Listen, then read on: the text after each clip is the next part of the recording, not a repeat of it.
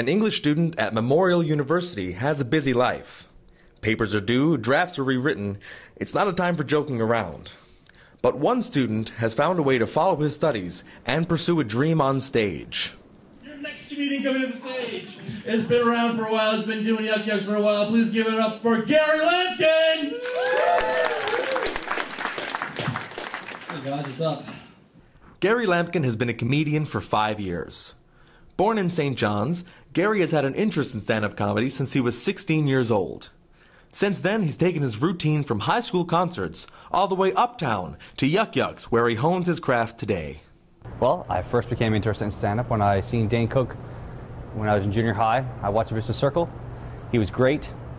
Uh, he made it look fun, and I was like, wow, I think I should try this. People have told me I'm slightly humorous, and so I gave it a try. Here I am.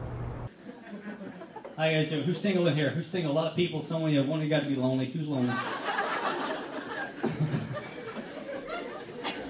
I write my material just based on my ideas, things. This mix is like my ideas and stuff. Like I do a, a joke about dancing and online dating, uh, and then it's just real life stuff, family stuff, stuff that happens to me. I was never funny when I was a kid.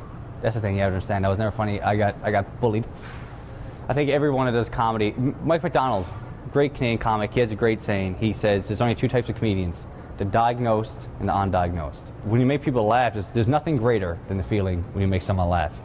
Like to know that you're making taking someone out of their crappy life for 10 seconds and they're laughing, they're forgetting about it. That's just a great feeling.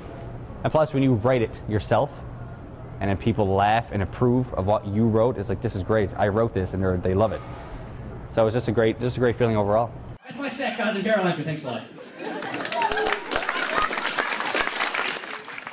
This show, compared to the first show I've ever done, was a tremendous change. Uh, I mean, anything's better than the first time you do something. The first time I did it, I forgot my own jokes.